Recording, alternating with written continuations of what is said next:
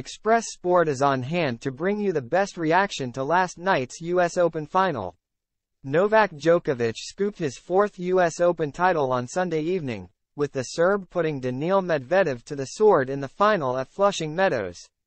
He managed to beat his Russian opponent in straight sets to win his 24th career Grand Slam and consolidate his status as the undisputed king of men's tennis. It was another champion's performance from Djokovic. With a comfortable opening set followed by a grueling second which lasted 1 hour and 44 minutes. He exchanged breaks with Medvedev early in the third but went on to see out the match and secure US Open glory for the first time since 2018. Speaking in his on-court interview, Djokovic said, It obviously means the world to me.